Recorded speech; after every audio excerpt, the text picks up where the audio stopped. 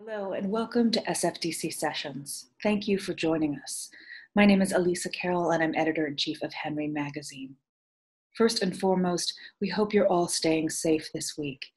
Amidst the devastation on the West Coast, we wanted to turn our minds and our hearts to the wilderness. So we're thrilled to be joined today by Emma J. Shipley, a young British designer whose work truly celebrates the natural world.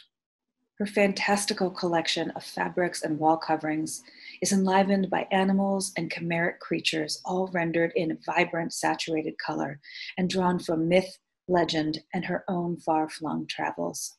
Today, Emma introduces us to Wilderie, her new collection, which will debut at Kravet in October, and which features a motif called Frontier, drawn from her adventures in our own Northern California landscape. Thank you for joining us. And again, our many thanks to the Design Center and to Rhonda Harada for giving us this platform for education and for the exploration of the wide world of design. We should actually dive in there and talk about um, the vast influence of nature, obviously, on your work and how beautifully you dive into that. Um, would you mind sharing why that realm is such an inspiration for you?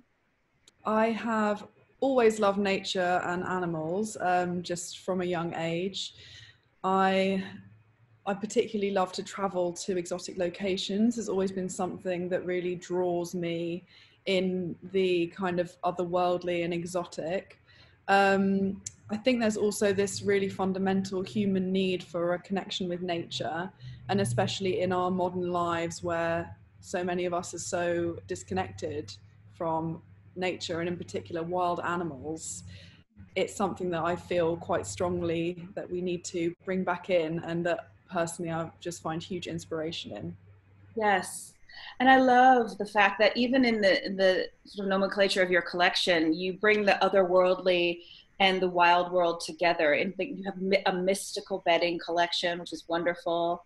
Um, yes. Really beautiful. Um, i think i I mean, I love all the natural world, but I think this kind of the myths and legends element to my designs and the fantasy uh, nature of them is something that I I think again it's like this fundamental human kind of thing that we've always been interested in. And if you look at the earliest human stories and even art and of course religion, it's something that always comes in this sort of supernatural and often it is um, supernatural stemming from nature or mixed with animals um, in these myths and legends and stories.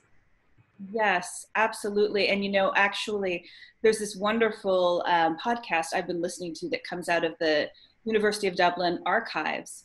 And the host was talking about the fact that, you know, on the surface, um, people will dismiss often the, the supernatural, but once you start to kind of scratch that a little bit there is still there are still very deeply held beliefs for example around fairy culture in ireland or wherever it might be yeah yeah, yeah. and it's so interesting that um, sort of every different community around the world has these supernatural stories and myths and legends that are really ingrained in their culture let's talk about that a little bit because you recently took an amazing research trip to south africa um, and saw some incredible cave paintings that really came full circle to influence your collection. Would you share that story with us?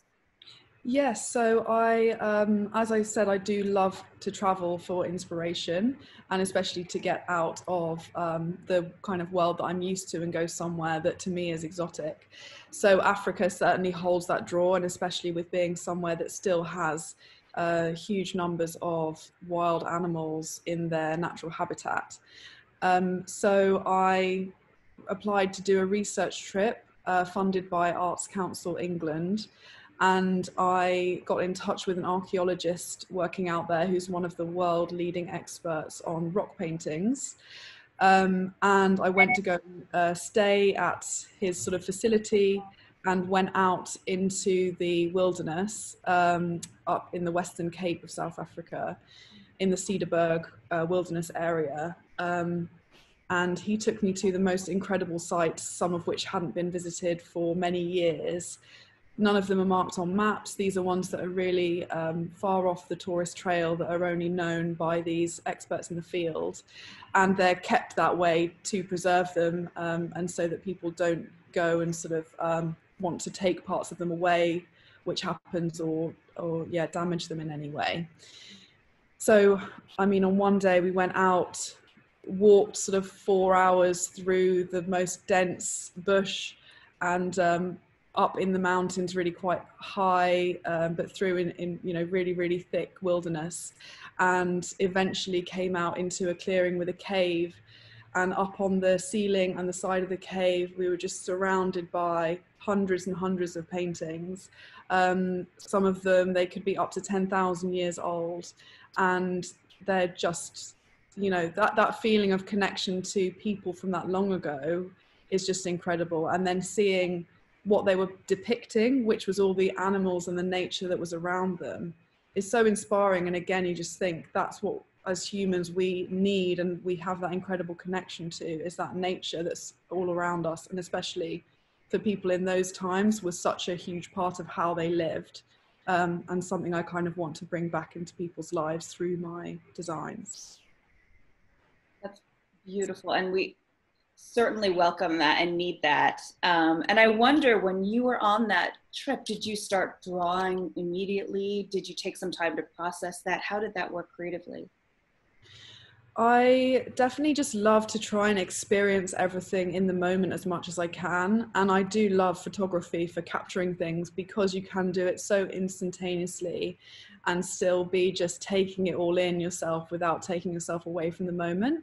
Um, so I often will take lots of pictures, I might do some rough sketches, and then when I get back home, that's when I really start to uh, bring together all of my photography sketches and other research, which might be into other um, stories like books that I've been reading or films that I've seen, for example, and then I bring together this kind of uh, disparate research to create something new. So I'm never only looking at one source. To create your own world, in effect, your own mythology, and exactly, exactly. So you're always being inspired by, but I've never, you know, I would never sort of take that directly. It always gets entwined with other things and becomes this own sort of fantasy world of my creation.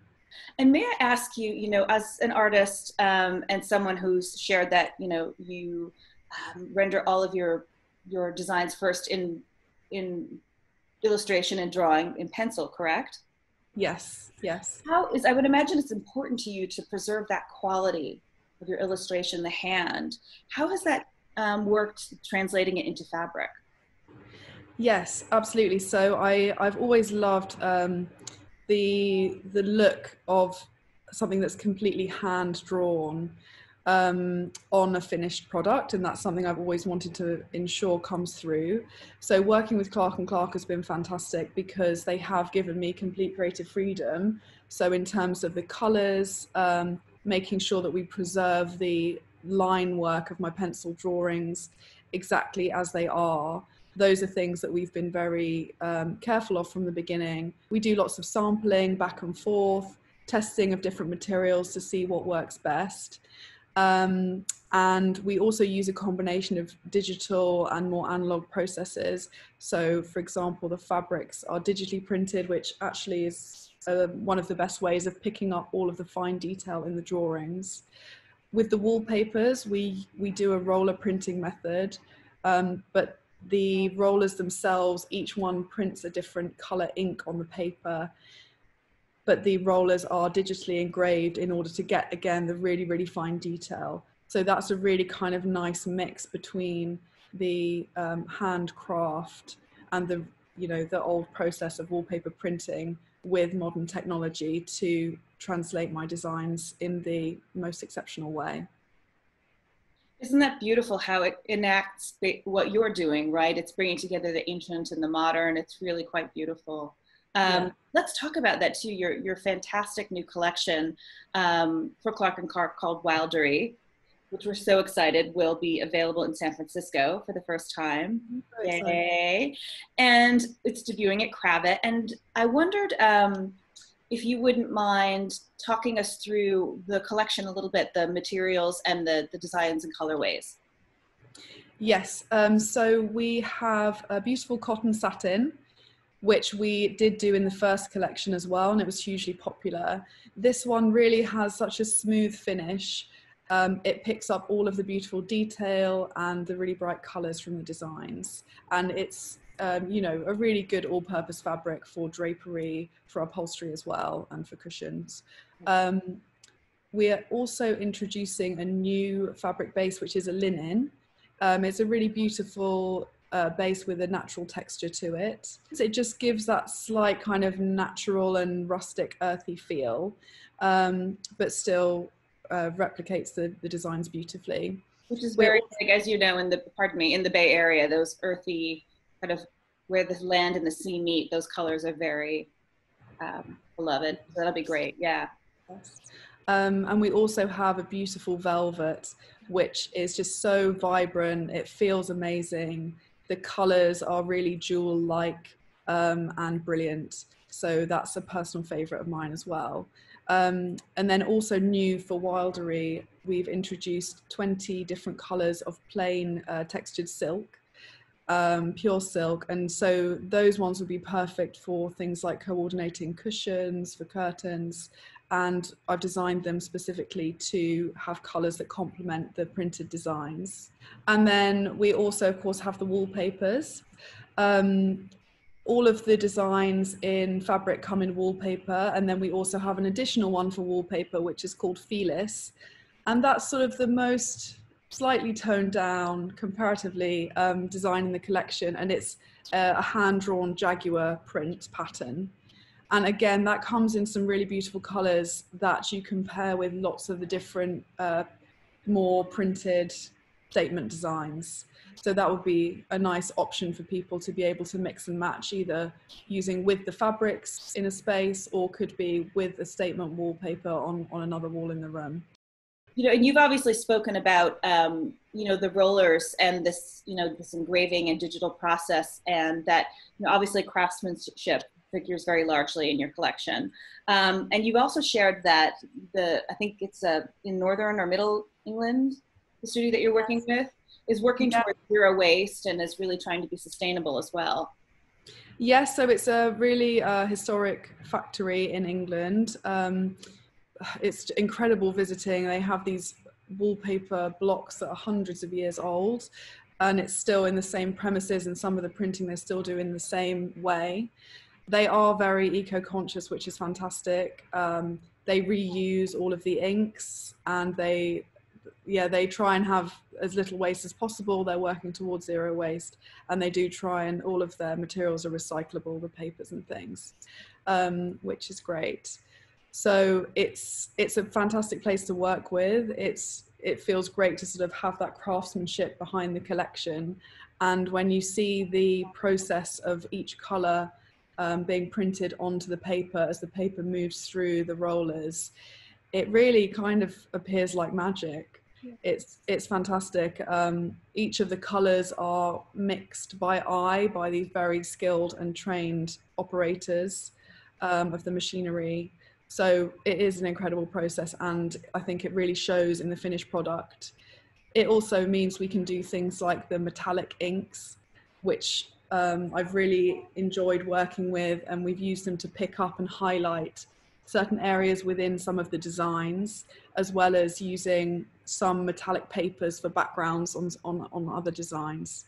And it really, um, you know, some of them are more subtle than others, but they all kind of pick up just a little those little extra touches that that make it feel like something special and give that little touch of magic when it's it's in the finished space it's really been inspiring to see the the many ways you found to kind of translate your personal vision all kinds of artistic platforms and one of the ones you did recently was um, a fragrance collaboration with Bahoma London and i wondered how you went about distilling your visual storytelling into fragrance or scent Yes, well, um, so yeah, we've launched a collection of scented candles and diffusers in bone china vessels. They've all got little real gold details.